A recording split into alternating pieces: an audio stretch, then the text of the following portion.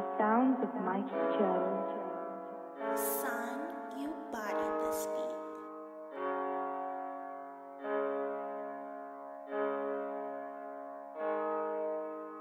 Alright guys, so I'm gonna take y'all into how I make my reaction videos. I'm gonna teach y'all how I edit it, what program I use, what effects and everything I do. I do it real fast. I perfected it to a point where I can do it real fast. And I'm not really the best at tutorial videos, but I'm gonna try to get in detail for you guys. You know, I like I explain things where, where it's simple for people to understand. Well, first off, this is what I do. I set up my lights. This light, that light, right? And then put up the green screen behind me. I make sure the green screen is well lit. You feel me? So that way you see like my shadow. Alright, you see? You don't see no shadow now. Right? If I get too close to the green screen, you'll see a shadow. You don't want that. You don't want that. You want to be like as far away from the green screen as possible. Usually, you can have a backlight to give you that outlining and all that. But as of now, I don't have a backlight and I don't have a key light. I usually use like this little light that I got. You could just turn it on right here and you'll see the difference. Use this light right here. You, see it brightens me up a little bit more. You can see I can turn it up a little bit more too. Feel me? Now you see me a little bit more clear. But anyways, anybody, any company that's out there that want to sponsor me and send me a key light or or or or a better green screen, Elgato for example. I was I, I, I always wanted to get an Elgato green screen. So if you guys want to sponsor me, you guys can send it to me. I'll do a review on it and everything, and I'll I'll let my viewers know, you know, to go check out your product. You know what I'm saying? Right now, I need a I need a mic. I need a mic because right now I'm using like just raw, straight out of the camera audio. So if you guys, any company got a mic, y'all guys want to sponsor me, you know, I'm here, man. But anyway, I'm gonna show y'all how how I do this, the whole process and everything. So right now, y'all seen I got the two lights and the, the green screen already. Feel me? I got the camera and I got it on the Joby, um, the the little tripod thing or whatever. I forgot what it's called. You know the the Gorilla Grip shit. The shit you could bend in. I don't remember the name of that shit. But anyway, you feel me? Um, we gonna get straight in the Final Cut, and I'm gonna show y'all the process that I do in Final Cut. All right, guys. So now we're in Final Cut. This is how I usually do it. And um, excuse me if you hear any noise or anything, cause I'm I'm screen recording. I'm um, this is being recorded by my um uh, my mic that's on my laptop. So if you hear any noise or anything like that, just you know look past it. All right, so this is what I usually do. Okay, this is my this is my my main clip right here with the green screen or whatnot, and this is the screen recording of the music video. All right, this music video is Bizzy Banks Quarantine Freestyle. All right, so this is what I do. I take this, highlight it, and drag it down. Right, this right here is my intro. This is my intro, right? So I drag it after my intro, make it a little bigger, and then I clip this right here to like where I start talking to the okay YouTube that part right there. Okay, YouTube. Right, and then I go to the end so that way I don't have to do this this after. Do the see the bow. I just cut. Feel me? I just cut to the bow, the end of the bow. So after right after the bow, the intro just comes straight on. All right, and so like uh, if you do have Final Cut, you should basically know the basics already. All right, so I take this song, the song, and then I drag it on top right? You see the sound waves? This right here is the sound waves, right? Everybody know what the sound wave is, you feel me? But, you know, sometimes be having people that is a little bit slow, so you got to repeat stuff and explain shit that don't need to be explained. But anyway, boom. I drag this and I match them up together. Then I play it. to make sure I hear no echo or no extra sound, right? Boom.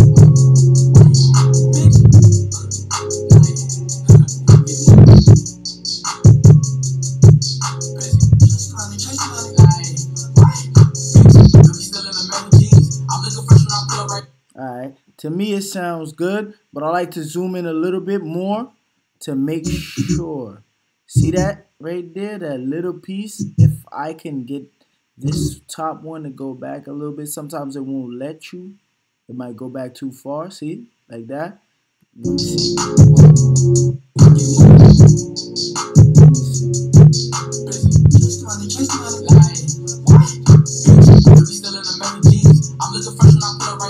It doesn't sound off to me. It doesn't sound off, right? So then I make it back smaller, zoom back out, and this is what I do. I take the sound from this and turn it all the way off. All the way off. Then I click right here. Boom. Right? Go to video. And then I scale this down all the way till like I like the size, you know? No homo. Pause. Pause. Pause. That was whoa. Whoa, Upper behave yourself. Right? Okay, so I put it like right there. Boom. I like what it says. We don't care about no quarantine. Alright, can see myself good. And then I go over here and I grab the keyer.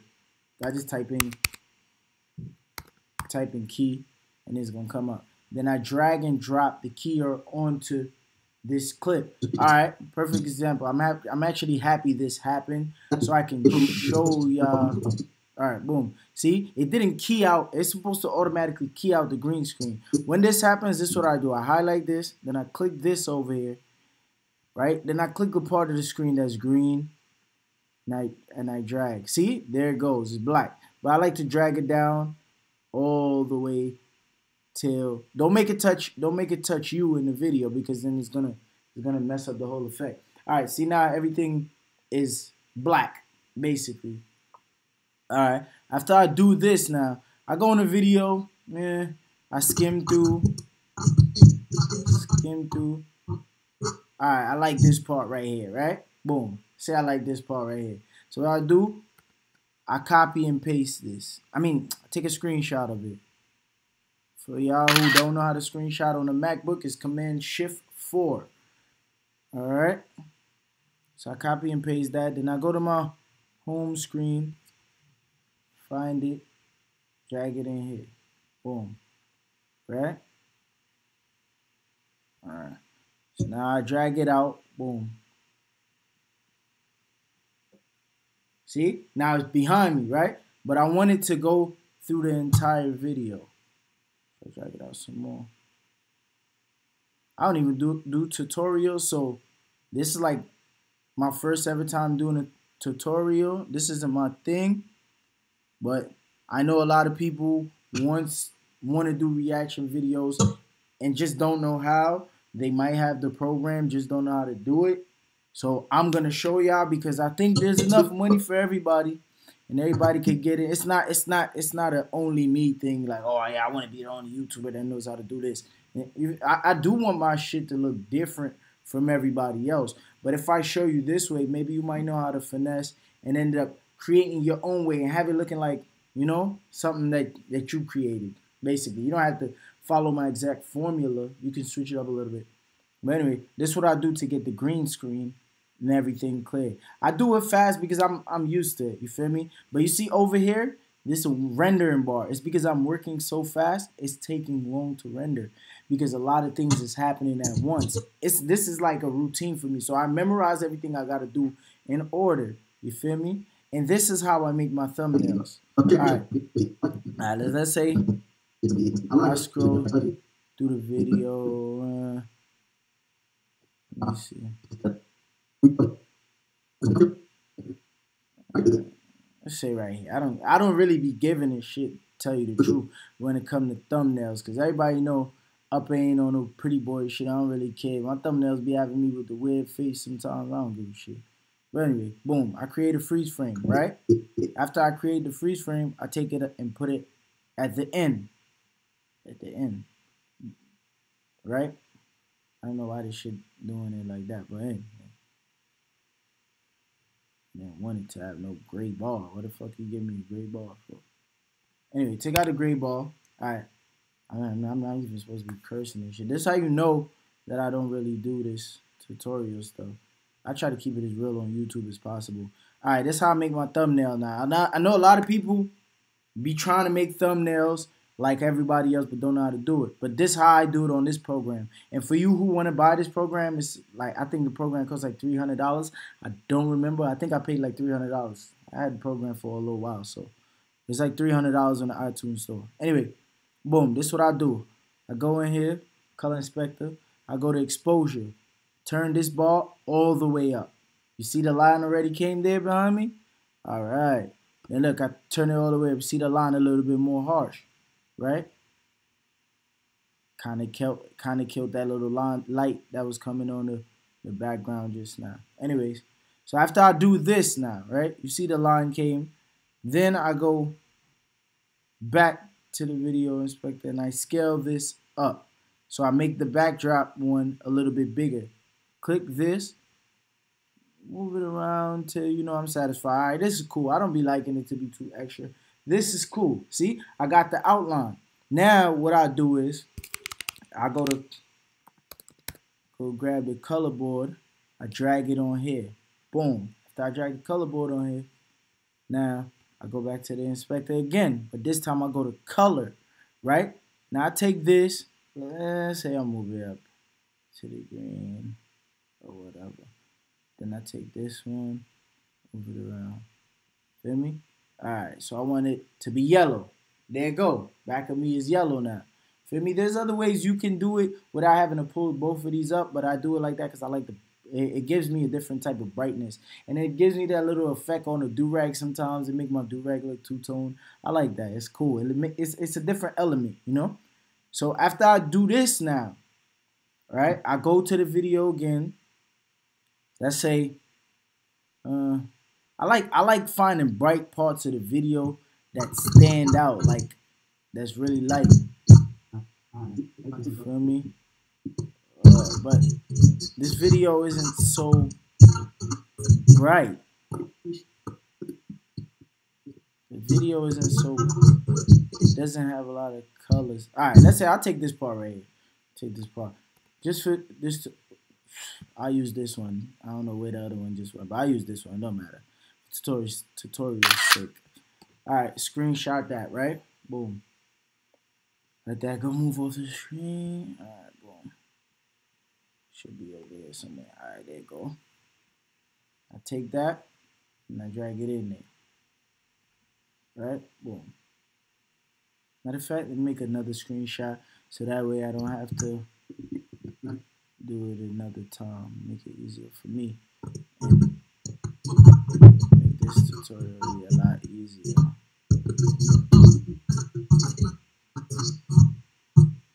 I don't really care. I use anything for this part. I don't really give a shit. Anyway, take this, screenshot that bomb.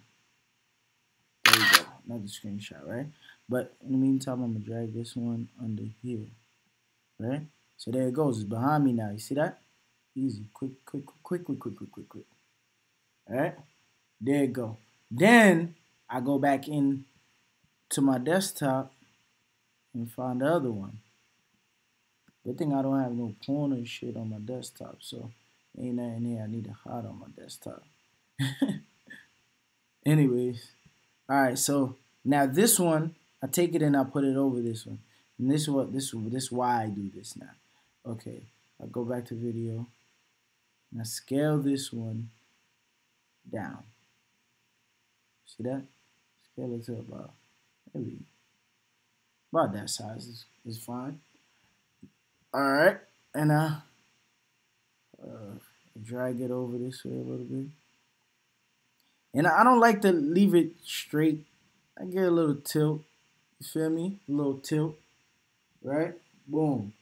So then I go back to it again and I click it. I, I'm using a MacBook, so I press Command and I drag it up uh, while I'm holding command, right? So, what the hell? See, this is what Final Cut does when you're editing too much. It might just crash. It might Final Cut might just crash for me because I'm editing too fast. Anyways, I said command, I meant option. So boom, I drag it up. Then I go to the one at the bottom now, right? And I scale it up. Scale it up. Boom. Drag this down a little bit. All right, and remember what I did before? I dragged, I, I went to um the color board, exposure, turned this all the way up. Now it's white, right? Then I go to color board, drag the color board to that, right? And go to color. Let's see. Red.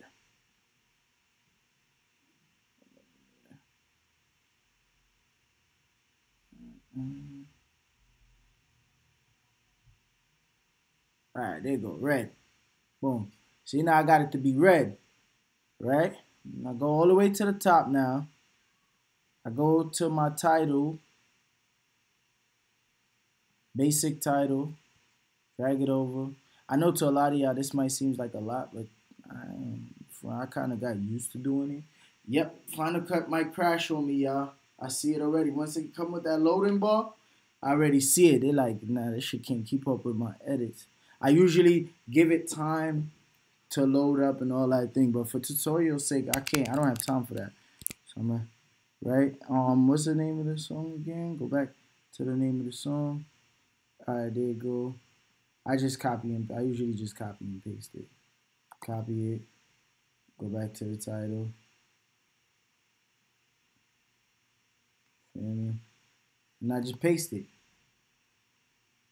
There you go. So now this is this is a font that I use right here. I like this font. I'll scale it up so it'd be a little bit bigger. And